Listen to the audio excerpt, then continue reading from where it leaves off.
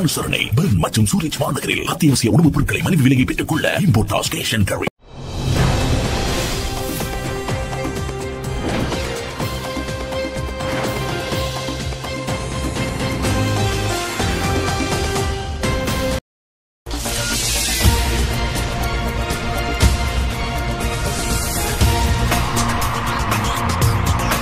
Saudi அரேபியாவில் தங்கியுள்ள இலங்கையர்களை நாட்டிற்கு அழைத்து வருமாறு ஜனாதிபதி உத்தரவு. தொற்றினால் பாதிக்கப்பட்டிருந்த மற்றொருவர் உயிரிழப்பு. கிராம அலுவலர் மர்மமான முறையில் உயிரிழப்பு. பெலியுட மீன் சந்தையில் தொற்று பரவல் ஏற்பட்டமைக்கான காரணம் கண்டுபிடிப்பு. நாடு முழுவதும் அறுபத்தி மூவாயிரத்தி அறுநூறுக்கும் மேற்பட்டோர் சுயதனிமைப்படுத்தலில். சவுதி அரேபியாவில் பாதுகாப்பு இல்லங்களில் தங்கியுள்ள இலங்கையர்களை நாற்பத்தி எட்டு மணி நேரத்துக்குள் அழைத்து வர ஜனாதிபதி உத்தரவின் பேரில் நடவடிக்கை மேற்கொள்ளப்பட்டுள்ளது. ஜனாதிபதி கோட்டாபய ராஜபக்சவின் பணிப்புரைக்காமை நடைபெற்ற சிறப்பு பணிக்குழுவின் கூட்டத்தில் இது தொடர்பான தீர்மானம் மேற்கொள்ளப்பட்டுள்ளது. பரவல் காரணமாக சவுதி அரேபியாவில் உள்ள இலங்கையர்களின் பதிவிட மற்றும் தொழில் வாய்ப்புகளுக்கு கடும் பாதிப்பு காணப்படுவதாக தெரிய வந்துள்ளது அந்நாட்டின் நூற்றி ஐம்பது பாதுகாப்பு இல்லங்களில் இவர்கள் தங்கியுள்ளனர். இவர்கள் நாற்பத்தி எட்டு மனத்தியாலங்களுக்குள் நாட்டிற்கு அழைத்து வர நடவடிக்கை எடுக்குமாறு ஜனாதிபதி கோட்டாபய ராஜபக்ச பணிப்புரை வழங்கியுள்ளதாக இராணுவ தளபதி லெப்டினன்ட் ஜெனரல் சபேந்திர சில்வா தெரிவித்துள்ளார். இதற்காக ஒரு நாளைக்கு இரண்டு விமான சேவைகளை ஏனும் நடைமுறைப்படுத்த வேண்டும் என்று ஜனாதிபதி பணித்துள்ளதாக அவர் சுட்டிக்காட்டியுள்ளார். இவர்களை ஒரு நாளைக்குள் பிசிஆர் பரிசோதனைக்காக அனுப்பும் செயற்பாடு அறிமுகப்படுத்தப்பட்டுள்ளதாகவும் இராணுவ தளபதி தெரிவித்துள்ளார்.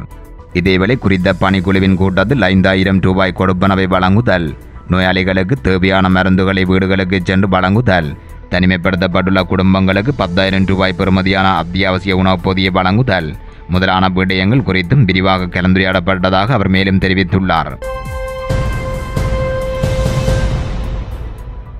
தொற்றினால் பாதிக்கப்பட்டிருந்த மற்றும் ஒருவர் உயிரிழப்பு. தொற்று உறுதி செய்யப்பட்ட நிலையில் கொழும்பு தேசிய வைத்தியசாலையில் சிகிச்சை பெற்று வந்த மற்றும் ஒருவர் உயிரிழந்துள்ளார். கொட்டாஞ்சேனை பகுதியைச் சேர்ந்த எழுபத்தி எட்டு வயதுடைய ஒருவர் இவ்வாறு உயிரிழந்துள்ளதாக தெரிவிக்கப்படுகின்றது. இதன் மூலம் தொற்று காரணமாக இதுவரை உயிரிழந்தவர்களின் எண்ணிக்கை இருபத்தி நான்காக உயர்ந்துள்ளது. கிராம அலுவலர் மர்மமான முறையில் உயிரிழப்பு. மன்னாரில் சம்பவம். மன்னார் மாந்தை மேற்கு பிரதேச செயலகத்தில் நிர்வாக உத்தியோகத்தராக கடமையாற்றும். கிராம அலுவலரான விஜயன் அழைக்கப்படும் எஸ். விஜயேந்திரன் என்பவர் நேற்றைய தினம் செவ்வாய்க்கிழமை இரவு மர்மமான முறையில் உயிரிழந்துள்ளார். இவர் கடமை முடிந்து தனது வீடு நோக்கி சென்று கொண்டிருந்த போது கள்ளியடி ஆத்திமோட்டை பகுதியில் வைத்து மர்மமான முறையில் உயிரிழந்துள்ளார். இவரது தலை மற்றும் உடல் பாகங்களில் பாரிய காயம் காணப்பட்டுள்ளதோடு அவர் இனம் தெரியாத நபர்களினால் கூறிய ஆயுதத்தினால் வெட்டி கொலை செய்யப்பட்டிருக்கலாம் என சந்தேகம் எழுந்துள்ளது. மாந்தை மேற்கு பிரதேச செயலாளர் பிரிவில் இடம்பெற்று வரும் சட்டவிரோத மண்ணகழ்வு உள்ளிட்ட சட்டவிரோத செயற்பாடுகளுக்கு எதிராக குரல் கொடுத்து வந்துள்ளமையும் தெரிய வருகின்றது. தற்போது தடலம் மன்னர் மாவட்ட பொது வைத்தியசாலையில் வைக்கப்பட்டுள்ளது. இலுப்பை கடவை போலீசார் மேலதிக விசாரணைகளை மேற்கொண்டு வருகின்றனர். பேலியகுட மீன் சந்தையில் தொற்று பரவல் ஏற்பட்டமைக்கான காரணம் கண்டுபிடிப்பு. மினுவாங்குட தொழிற்சாலையின் தொட்டு பரவலின் உபபரவலான பேலியோகுட மீன் சந்தையில் தொட்டு பரவல் பணத்தால் மூலம் ஏற்பட்டுள்ளதாக கண்டுபிடிக்கப்பட்டுள்ளது. மீன் சந்தைக்கிடையில் தொட்டு பரவ பணம்தான் முக்கிய காரணம் என விசாரணை மூலம் கண்டறியப்பட்டுள்ளது. பேலியகுட உபபரவலில் நான்கு நாட்களுக்குள் ஐயாயிரத்தி ஐநூற்றி பதிமூன்று தொற்றாளர்கள் அடையாளம் காணப்பட்டுள்ளனர்.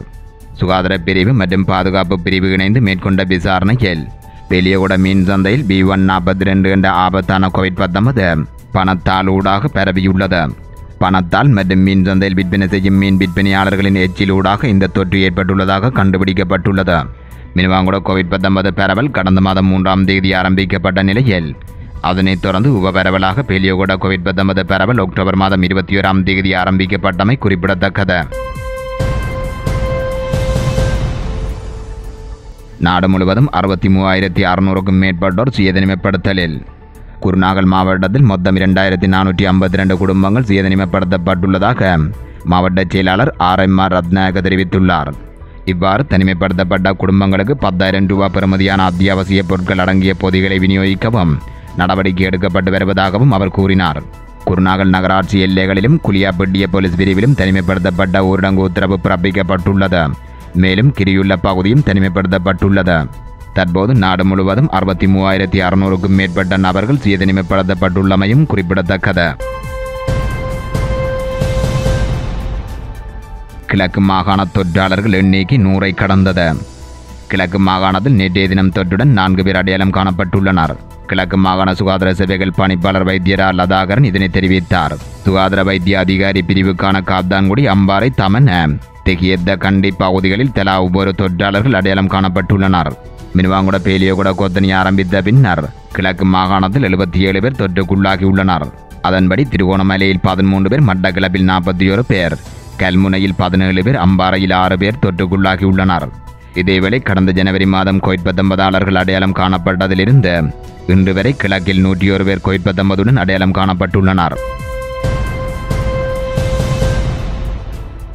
இலங்கையில் பரவும் வீரியமான கோவிட் பத்தொன்பது சமூக இடைவெளி குறித்து முக்கிய தீர்மானம் என்று இலங்கையில் தற்போது பரவும் தொற்று வீரியம் நாள். ஒரு மீட்டர் சமூக இடைவெளியை பேணுவது போதுமானதா அல்லது அதனை இரண்டு மீட்டராக அதிகரிப்பதா என்பது தொடர்பாக தீர்மானம் மேற்கொள்ளப்பட உள்ளது. இது குறித்து இன்றைய தினம் தொழில்நுட்ப குழு கூடி ஆராய உள்ளதாக சுகாதார சேவைகள் பணிப்பாளர் நாயகம் வைத்தியர் அசேல குணவர்தன தெரிவித்துள்ளார். அந்த குழுவின் கூட்டத்தின் பின்னர் சமூக இடைவெளியை பேணுவது தொடர்பான அறிவித்தல் விடுக்கப்படும் என சுகாதார சேவைகள் பணிப்பாளர் நாயகம் குறிப்பிட்டுள்ளார். இதே நேரம் தொற்று காரணமாக கேன் சானிடைசர் எனப்படும் கைகளில் தொற்று நீக்கி திரவத்தை பயன்படுத்துவது தொடர்பில் பொதுமக்கள் அவதானத்துடன் செயற்பட வேண்டும் என அரசாங்க மருத்துவ அதிகாரிகள் சங்கம் தெரிவித்துள்ளது. அமெரிக்க ஜனாதிபதி தேர்தல் ஜோ பைடன் முன்னிலை. அமெரிக்க ஜனாதிபதி தேர்தலில் ஜோ பைடன் முன்னிலை வகித்து வருகிறார். அமெரிக்காவின் அடுத்த ஜனாதிபதியை தேர்வு செய்வதற்கான வாக்கு எண்ணிக்கை தொடங்கியுள்ளது. தற்போது வரை ஜோ பைடன் நூற்றி முப்பத்தி ஒரு தேர்தல் சபை வாக்குகளை பெற்று முன்னிலை வகிக்கிறார். டொனால்ட் ட்ரம்ப் தொண்ணூற்றி இரண்டு தேர்தல் சபை வாக்குகளை பெற்றுள்ளார். அமெரிக்காவில் மொத்தமுள்ள ஐநூற்றி முப்பத்தி எட்டு தேர்தல் சபைகளில் இருநூற்றி எழுபது சபைகளை பெறுபவரே ஜனாதிபதியாக முடியும். கலிபோர்னியாவில் ஐம்பத்தி ஐந்து டெக்சாஸில் முப்பத்தி எட்டு நியூயார்க் மற்றும் புளோரிடாவில் தலா இருபத்தி ஒன்பது பென்சில்வேனியாவிலும் இல்லினேஜியிலும் தலா இருபது ஓஹியோவில் பதினெட்டு ஜோர்ஜியாவிலும் மிக்சிகனிலும் தலா பதினாறு வட கரோலினாவில் பதினைந்து வாக்குகள் உள்ளன இந்த மாகாணங்கள் அமெரிக்க ஜனாதிபதி தேர்தலில் முக்கிய பங்கு வகிக்கும் நேற்றைய தினம் வாக்குப்பதிவு முடிந்ததும் வாக்கு எண்ணிக்கை தொடங்கிவிட்டது இந்நிலையில் அமெரிக்க ஜனாதிபதி தேர்தலில் ஜனநாயக கட்சி சார்பில் போட்டியிட்ட முன்னாள் துணை ஜனாதிபதி ஜோ பைடன் முன்னிலை வகித்து வருகிறார் ட்ரம்ப் ஜோ பைடன் இருவரும் பன்னிரண்டு மாகாணங்களில் வெற்றி பெற்றுள்ளனர் புளோரிடா மாகாணம் ட்ரம்புக்கு சாதகமாக இருப்பதாக தகவல்கள் வெளியாகியுள்ளன புளோரிடாவில் ஜனாதிபதி ட்ரம்ப் ஐம்பத்தி ஐந்து லட்சத்து தொண்ணூற்றி ஆறாயிரத்தி அறுநூற்றி நாற்பத்தி நான்கு வாக்குகளுடன் ஐம்பத்தி ஒன்று தசம் இரண்டு வாக்குகள் பெற்று முன்னிலை வகிக்கிறார். பைடன் இங்கு நாற்பத்தி ஏழு தசம் எட்டு வாக்குகளை பெற்றுள்ளார். ஜோர்ஜியா நோர்த் கரோலினா ஆகியவற்றிலும் ட்ரம்ப் முன்னிலை வகிக்கிறார்.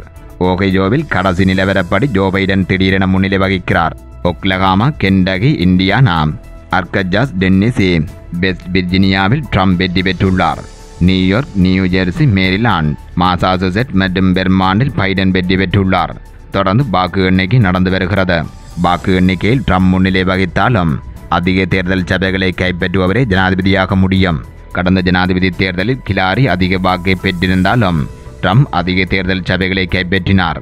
இம்முறை இதுவரை ஜோ பைடன் அதிக தேர்தல் சபைகளை கைப்பற்றியுள்ளார். யாழ்ப்பாணம் நவீன சந்தை கட்டட தொகுதியில் தொற்று அச்சத்தால் மூடப்பட்டிருந்த கடைகள் இன்றைய தினம் திறக்கப்பட்டுள்ளது.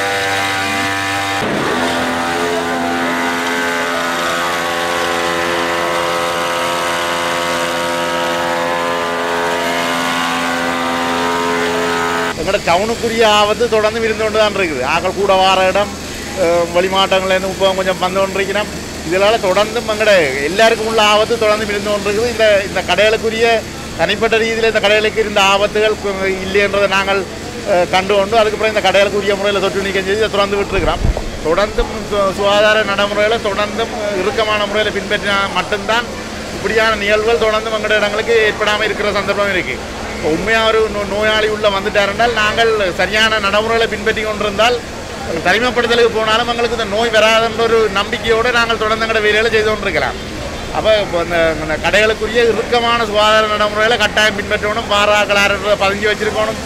யார் உள்ள வரையிடம் யார் வெளியில் போய் நம்ம வேலை செய்கிறார்களார் என்ற விவரங்கள் எல்லாத்தையும் உங்கள்கிட்ட வச்சுருக்கணும். எங்களுக்கு என்ன தேவையான நேரம் அதில் உடனே தரத்தக்கதாக இருக்கணும்.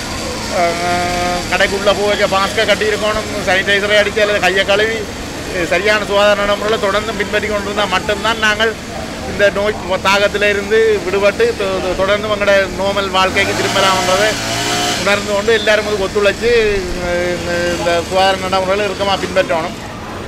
இப்போவும் ஆக்கள் கூடுறதை தவிர்த்து கொள்ளுங்க. கடைக்கில் கனவேர் உள்ளிட விட வேண்டாம். கடைக்கில் வாராக்கள் எண்ணிக்கையை மட்டுப்படுத்துங்க. ஆக்களுக்கு சரியான முறையில் பதிஞ்சு சரியான நடைமுறைகளோடு உள்ள அனுமதிச்சு உங்களோட வியாபார நடவடிக்கைகளை தொடர்ந்து மேற்கொள்ளணும். ஒரு நல்ல விஷயங்களை செய்யிக்க அதை அதுக்கு எதிராக செய்யக்கூடிய நபர்களும் இங்கே இருக்கிறார்கள். குறிப்பாக நாங்கள் சொல்ல போனால் மாவட்டங்களுக்கு இடையிலான தொடர்புகளை நாங்கள் கட்டுப்படுத்த வேணும் என்று சொல்லி தனியார் போக்குவரத்து சிடிபி அவர்களோடு பேசி நாங்கள் ஒரு பொது உடன்பாட்டுக்கு அதாவது ஒரு மக்களும் நாங்கள் எல்லாருமே ஒரு அமைப்புகள் நிறுவனங்கள் வர்த்தக வர்த்தகர்கள் எல்லாரும் சேர்ந்து இந்த தாக்கத்திலிருந்து எவ்வாறு தப்பித்துக் கொள்வதென்றது தொடர்பாக நாங்கள் ஒரு பொது நியமத்துக்குள்ளே வரையிலேன்னு சொன்னால் நாங்கள் இதை கட்டுப்படுத்திடலாம். இதுக்கு குழுசே இல்லை. அதே சமூக இடைவெளி முகக்கவசம் அணிகிறது கைகளை து துப்புரவாக்கி வச்சிருக்கிறது தான் இதுக்கு இருக்கிற மருந்து. எங்களுக்கு இப்போ இருக்கக்கூடிய மருந்து. அப்போ வெளி தொடர்பு இல்லாமல் இருக்கணும் கௌரவ ஆளுநர் அவர்களும். வெளி மாவட்டங்கள்லேருந்து அந்தந்த மாவட்டங்களுக்குள்ளே இருந்து தங்களோட பணிகளை ஆரம்பிக்க செய்ய சொல்லி ஒரு கருத்தை முன்வைத்திருந்த போதிலும் ராணுவ அதிகாரி மாவட்டங்களுக்குள் முடங்குங்கள் என்று அறிவுறுத்தலை வழங்கியிருந்த போதும் ஒரு சனி தனியார் நிறுவனங்கள் பஸ் போக்குவரத்தில் ஒரு சிலர் இந்த விதிகளை மீறி இன்றைக்கு அதிகாலையில் இங்கே இருந்து பஸ்ஸுகளை எடுக்கிறதுக்கு முயற்சித்திருக்கிறார்கள். ஆகவே நான் போலீசாரிடம் கடுமையான உத்தரவை நான் பிறப்பிக்கிறேன் சொன்னால் அந்த குறிப்பிட்ட பஸ் ஓட்டுநர் பஸ்ஸுக்குரிய இலக்கங்களை நீங்கள் பதிவு செய்து அவர்கள் மீளா எங்களுடைய மாநகர எல்லைக்குள்ளே வரும்போது அவற்றை உங்களுடைய கட்டுப்பாட்டுக்குள் எடுக்க வேண்டும். ஏன்னு சொன்னால் இது தனிப்பட்ட மாநகரத்தோட பிரச்சனையும் பிரச்சனையோ இல்லை. இது எங்களுடைய இனத்தினுடைய பிரச்சனை. வடமாகாணத்தில் 59 பேருக்கு கொரோனா வந்திருக்கு. தொற்று அடையாளம் காணப்பட்டிருக்கு. ஆகவே சைனாவில் நாங்கள் தொற்று வரைக்கும் இங்கே ரெண்டு மாதம் மூடி வீடுகளுக்கு எல்லாம் முடங்கி கிடந்து எங்களோட உயிரை பாதுகாத்தோம். இப்போ மாகாணத்துக்கு அறுபது பேருக்கு தொற்று வந்திருக்குன்னு சொன்ன பிறகு நாங்கள் கட்டாக்காலி விலங்குகள் போல நாங்கள் அப்படி திரிய முடியாது. அதை நாங்கள் அனுமதிக்க இயலாது ஆகவே தான் இவ்வாறு இன்றைக்கு நாங்கள் இதை செய்கிறோம் என்னன்னு சொன்னால் ஒரு மரு- மருத்துவர்களுடைய அறிக்கையின் பிரகாரம் இது திறந்து விடலாம் என்று எங்களுக்கு அறிவுறுத்தல் தந்ததுக்கு அமைவாக முறையான நடைமுறையை பின்பற்றி நாங்கள் திறக்கிறோம். அவர்களுக்கு நாங்கள் வழங்குகிற அறிவுரை நீங்கள் சமூக இடைவெளி நீங்களும் உங்களை பாதுகாத்து கொண்டு இனிமேல் வர்றாக்களை நீங்கள் பாதுகாப்பாக உள்ளுக்கு எடுத்து உங்களுடைய நாளாந்த செயல்பாடுகளை செய்யணும். அது இப்போ இது போக்குவரத்தால் தான் இந்த பிரச்சனை வந்தது. அப்போ ஒரு மூன்று பேர் இங்கே இருந்து பஸ்ஸை கொண்டு வந்துச்சுன்னா உங்களுக்கு அந்த பொறுப்பு இருக்குது இது நாங்கள் வந்து தான் செய்யணும் இல்லை நீங்கள் இந்த மண்ணில் இந்த இந்த நகரத்தில் குடிமகன் சொன்னால் உங்களுக்கு அந்த பொறுப்பு இருக்குது நிறைய நேற்று மாத்திரம் எங்களுக்கு நிறைய நல்லுள்ளங்கள் கோல் பண்ணி இவர் அந்த அந்த சாப்பாடு கடையில் அவரோட இருந்து உணவருந்தியவர் என்று பல்வேறு விதமான இது தாரினம். அது காட்டி கொடுப்பதல்ல. ஏனையோரை பாதுகாப்பது? அப்போ இது இது ஏழை பணக்காரன் என்று வித்தியாசம் இல்லாமல் வர்ற நோய். இன்றைக்கு அவர்களுக்கு இருக்கு நாளைக்கு எங்களுக்கு வரலாம் நாளைக்கு உங்களுக்கு வரலாம் ஆகவேதான் பொறுப்பு. வெளி மாவட்டத்திலிருந்து பஸ்ஸை நாங்கள் அனுமதிக்க கூடாதுன்னு சொன்னா உங்களோட உணர்ச்சியை வெளிப்படுத்துக்கோ வெளி மாவட்ட பஸ்ஸை நீங்க பிடிங்கோ ஓட்டுநரை கட்டி ப- பிடிச்சவரை நீங்க போலீசார்ட்ட ஒப்படைங்க இந்த பொறுப்பு உங்களுக்கு இருக்கு. ஆக இது ஒரு குறுகிய நோக்கம் இல்லை இன்னும் எவ்வளவு நாளைக்கு இது தொடரப்போகுது என்று சொல்லி யாரிடம் ஆருடன் கூற முடியாத ஒரு நோய். ஆகவே சமூக பொறுப்போட எல்லாரும் உங்களோட ஒத்துழைப்பை நீங்கள் நல்க முடியாது என்று சொன்னால் நாங்கள் கொரோனா சட்டத்துக்கு கீழே நியமங்களுக்கு கீழே உங்களை நாங்கள் சட்ட ரீதியாக நடவடிக்கை எடுக்கிறதுக்குரிய நடைமுறையை பின்பற்றுவதை தவிர எங்களுக்கு வேறு வழி இல்லை. அதுவும் நீங்கள் தான் மக்கள் தான் அப்புறம் உங்களை கொண்டு தனிமைப்படுத்துகிற இடத்துல போட்டால் அதுல இருந்து உங்களுக்கு நோய் தொத்தும் ஆகவே ஒருத்தருக்கு சமூக பொறுப்போடு நீங்கள் நடந்து கொள்ளணும். இந்த கடைகளுக்கு முன்னால் பாருங்கள் ஒவ்வொரு கம்பங்களும் எச்சு துப்பப்பட்டிருக்கு அவை இந்த இது இது உங்களோட கோஆப்ரேட் ரெஸ்பான்சிபிலிட்டி இந்த கடைக்கு முன்னால் இதில் துப்புறாருன்னு சொன்னால் இந்த கடைக்கு அது பொறுப்பு இருக்கு. அவை நீங்கள் இதுகள் எல்லாத்தையும் பார்க்க வேண்டிய வெறுமனே இது இல்லை. இதில் சாதாரண உடம்பில் அது எட்டு நாள் ஒன்பது நாளுக்கு வாழும்னு சொன்னால் இந்த துப்பல்ல அது எத்தனை மாதத்துக்கு மாசத்துக்கு இருக்கும் போதிரியா தயவு செய்து பொறுப்போட இருக்கோ வெளி மாவட்ட பஸ்ஸுகளை நாங்கள் ஒரு வாரத்துக்கு நிப்பாட்டி இருக்கிறோம். அப்படி வெளி மாவட்ட பஸ் வந்ததுன்னு சொன்னால் உடனே நீங்கள் இனம் கண்டு அது போலீஸாருக்கோ எங்களுக்கோ நீங்கள் தெரியப்படுத்துங்கோ. நாங்கள் அதை ஒழுங்குபடுத்தலுக்கு கொண்டு வரோம். எங்களுக்கு எங்களோட மக்களோட பாதுகாப்பு தான் முக்கியம். அதுக்காக நாங்கள் எந்த இல்லை வரையும் சென்று நாங்கள் போராடுவோம்.